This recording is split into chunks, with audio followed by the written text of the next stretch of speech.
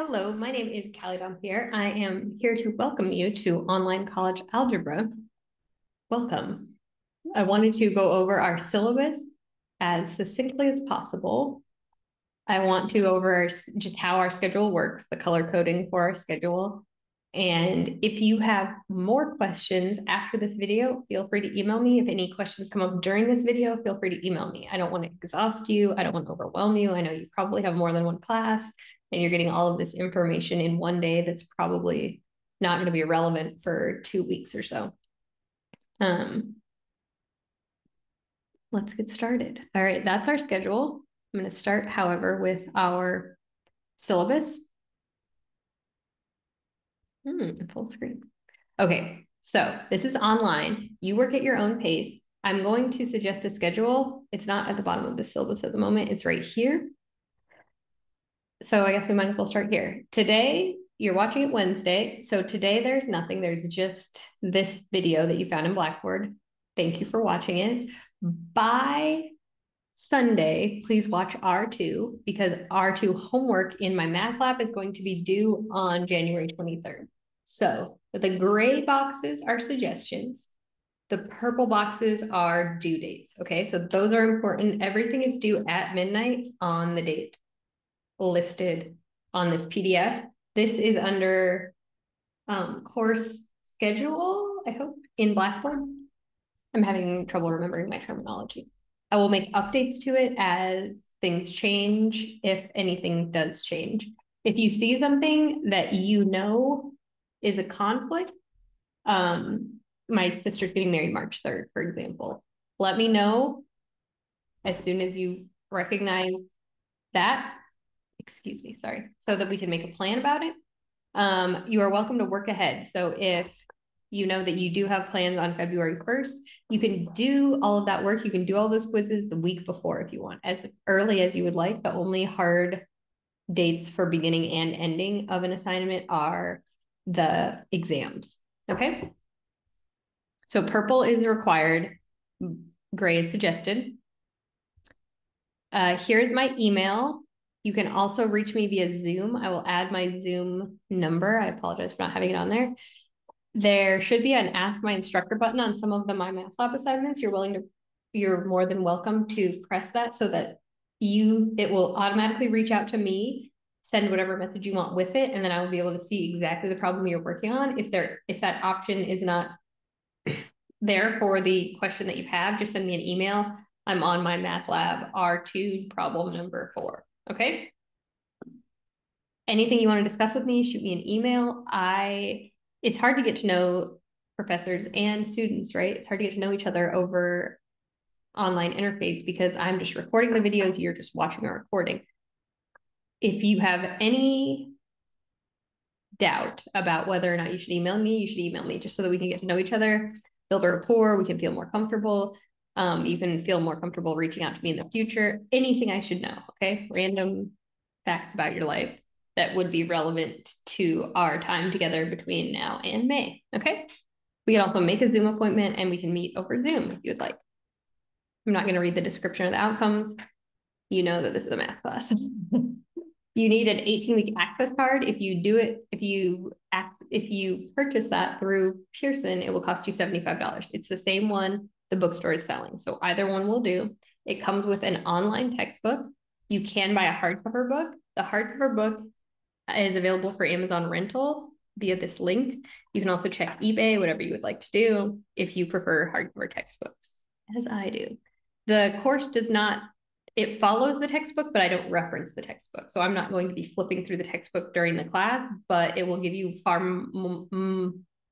uh, a lot of help with explanations and a lot more examples if you do have it. And I just find the online textbook to be um, not as easy to use because as a reference, you kind of want to flip around more easily than on the computer, but you guys are younger, so you probably understand it and are used to it on deep on a deeper level than I. All right. So if you don't have a calculator and you have $18, I would encourage you, and you want a calculator, I would encourage you to get the TI 30XS Multiview. I'm currently using the TI 84, but the TI 30XS is less expensive, has a bigger screen, it's easier to use fractions with it. And we don't need a graphing calculator for this class. We're going to be using desmos.com for the exams and for examples for all graphing is a lot easier online than on a small screen of a graphing calculator. So I would stick with this guy and do all my graphing through Desmos. All right, what are we doing? You are doing homework. Please expect to spend at least three hours a week on the homework, not counting watching the lectures, okay? Use notes, use textbooks, use Google, use whatever you want in order to further your comprehension, not just to find the answer, right? You don't turn in the homework assignments, they just become avail- unavailable after the date they are due in my math lab. The quiz, that was an unfortunate page break. The quiz is um, an, a way to prepare yourself for the exam. So there will be a quiz, a couple of questions per homework on the quiz. The quiz is meant to get you ready for the exam. You have three chances to do the quiz, so you can take the quiz three times. And the highest grade of the three will be put into the grade book, but try to make at least one of the attempts without any outside resources so that you're ready for the exam, okay? The exams. This is gonna be a lot of what I talk about because they're so complicated uh, in an online classroom. There are gonna be five exams one exam for each unit. That's kind of explained here, right? So we are going to do R2, R4, R5, R6, R7, R8, 1, 1, 2, 1, and then you're going to have an exam over all of that. Good. Five units. In order for exam grades to count, the exam must be proctored, meaning honor lock, the application, or if you have an alternative to honor lock, um, it has to be a math teacher or a librarian or someone who has experience proctoring math tests. That person needs to email me. You can email me to like confirm that this is okay. That person needs to email me through their professional email, and then I will give them the proctoring expectations. But it must be proctored. Proctoring for Honor Lock. I don't know if you know if you're familiar with Honor Lock, um, but what Honor Lock does is it it records your screen. It records your screen and it records your webcam. So make sure your computer has a webcam and then um, that you can set up your computer in such a way that, very annoying, I know. People have trouble with this. Um, that I can see your hands for the most part. I can see that what you're using is a calculator. I can see that you are writing notes and that you're not using another computer. You're not using a phone. You're not just looking at somebody else, right? um, like I said, it's hard to tell that people are doing their own work on an online class. So this is one of the ways that I ensure that you are doing your own work is that I can see your work area as you take the exam. It is recorded, it's saved to honor lock, but the only person who can see it is me, which I know some people hate. And if that's the case, I encourage you to go to your local library. They can help you um, they can proctor you. Maybe they can point you to a high school or a college campus that can also proctor you. Let me go back to our syllabus. Okay, so you need to be proctored for the exam. If you do plan on using HonorLock, there's an HonorLock tab in Blackboard that will explain to you how to download HonorLock, how to use HonorLock. There's going to be a practice HonorLock exam that you can access before the day of our first exam so that you feel ready to use HonorLock. Okay after the exam. This is very important. Very important. Is very important. Another way to assure that I know that you grasped the concepts and did your own work is that you are going to send me your shown work. So the paper that you were writing on during that exam, you're going to email it to me and it's going to look something like this. Here's number two. Here's what I did to find that answer. Okay. Here's number three. Here's what I did to find that answer. I know that that's a lot of work and only serves to increase math anxiety, but I need this class to be um a I didn't think about this before I said it. I need this class to be robust, right? And as an online teacher, I'm not watching you take the test. I'm not watching you do the homework. I'm just providing you the opportunity to do all of that. So to ensure that each grade is well earned, I'm going to need, insist upon your shown work, legible and organized, emailed to me after the exam, okay? If I do not get your shown work, I will not give you credit for that exam. The exam will be a zero, okay? The final exam is not comprehensive. It covers the final unit of the course. One of your exam grades from the first four exams will be dropped from the final grade in the course, but the final exam has to be included in your final grade, okay? Uh, a little bit more on the showing of the work. I'm not going to be going over it if you have if you have shown me in other ways that you know the math, okay?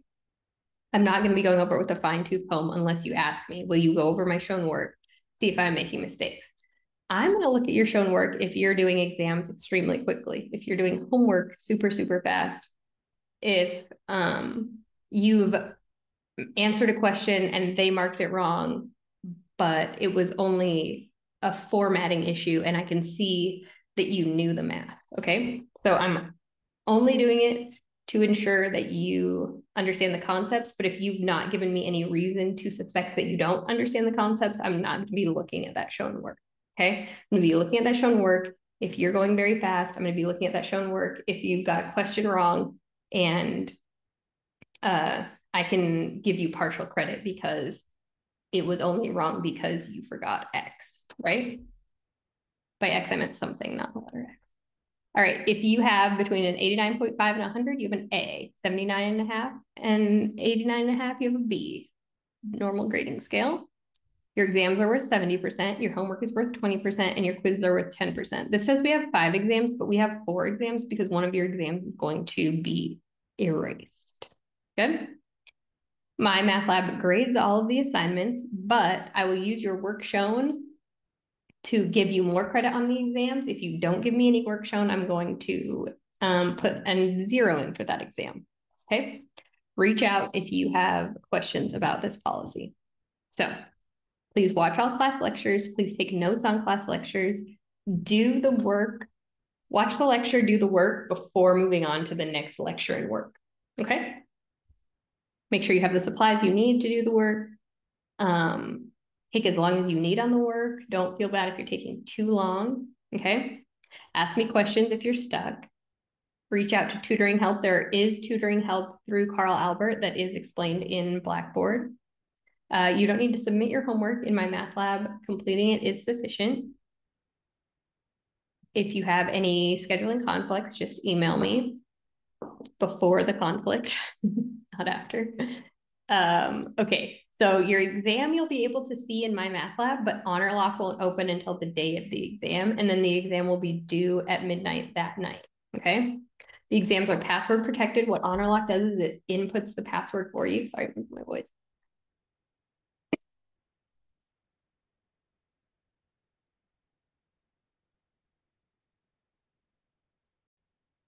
Sorry, I lost my voice. Okay. So HonorLock puts in the password for you, but in exchange, it records you. Um, you have to use Chrome to access HonorLock. All of this is explained in the HonorLock tab of Blackboard. If you would like me to make a video tutorial of our Blackboard classroom in each tab, I would be happy to do so. I just don't want to overwhelm you or make this useless um, by adding too much information to this video in particular, but just email me. I will then put that video up for all students. So if you have even the slightest desire for that, somebody else needs it too, okay? For all reasonable problems, show or explain how you found your answer. I'm not, if, if there are 25 questions and you have your work shown clearly for 20 of those questions, perfect, okay? I'm gonna give you full credit. Um, you don't need to write me paragraphs about I put in the number 78 into my calculator and then I hit the square button, you know. Um, but if you send me nothing, I'm going to assume that that was not your work. Okay. You can use a calculator. You can use blank paper. You can use desmos.com slash calculator during the exam. Okay. Any other outside websites that, that you visit will cause the exam to be marked as zero. If something happens during the exam, go ahead finish the exam, email me, I'm so sorry. You know, my dog ran in and disconnected my power cord. Just email me what happened. And if it was a genuine, you know, unintentional event, um, it won't matter because they're not going to stop your exam and they're not going to fail you. They're going to send the video to me and I'm going to review it. So uh, I'm sorry, my you know, my cousin came in and started talking to me. I told him to leave. I don't know if you'll hear that, something like that. I had to leave because my dog needed something. That's why I was out of the frame for five seconds, right? Because you can't leave, but if like it's an emergency and it's for a second, you can explain it to me. All right. Uh yeah. So make sure you follow all the honor lock expectations. So I'm not just giving you a zero. Don't miss any exams, those will also be zeros. And then make sure you're comfortable with honor lock and with my math lab before the date of the first exam. You can use honor lock. Just Google honor lock student support. They can help you through it. But I would not do that on the date of the exam. That would be a lot. Or that would be a lot of added stress, right? And then here's just everything else that is added to everybody's syllabus. All right. So we went through this. This is the schedule. It is available on Blackboard. This is what I would like your work shown to be, just as far as numbering it clearly. Okay. Here is what I see when I go into the grade book. Okay. I can see your assignment, your score, and how long you spent on it. Okay. This is why I'm encouraging you, and you're in college algebra now, you probably don't need it, but I'm encouraging you to take your time. If I see, for example, that you got a 97% on our final exam in eight minutes, let's be frank, we all know that apps exist, right? There are apps that can do math. Um, this is not going to count. And you're going to find out on the day of the final exam that you didn't pass the class. Okay. So make sure you're taking the amount of time that would add up to a college level course load. Don't delay if you truly did the math by yourself but make sure you're doing the math yourself um, and spending an adequate amount of time on it. Do not cheat. Any suspicion of cheating will be treated as cheating, and if necessary, you know, taken to the academic affairs office. Not only will you lose credit for this course, um, you'll lose, like, it will be on your record. Call it cheating is taken very seriously in college. I know I don't need to say this for 99% of you, but I do want to make it clear that there is a difference, right? There's a difference between this student who throughout the entire semester has consistently done work, right? And this student who started out ready, right? And like life happens, I understand. It's a lot to spend an hour on each assignment and then get a D on the first exam. That's discouraging, right? But with all the uh with with dropping one of the exams and with just like through practice, you're gonna get stronger and you will pass the class, right? And if instead we start turning to apps that will give us 37 answers in 20 minutes, all you're going to do is um, create problems for yourself that are pretty serious. So I hate to end on that note. Let me stop sharing my depressing screen.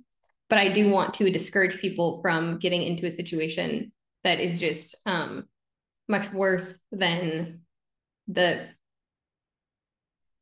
the trouble of learning the math because Carl Albert has decided that this is part of how to graduate with a degree from Carl Albert. So it does need to be done. There are resources to help you. I'm here to help you. There's tutoring to help you. This you can pass this class.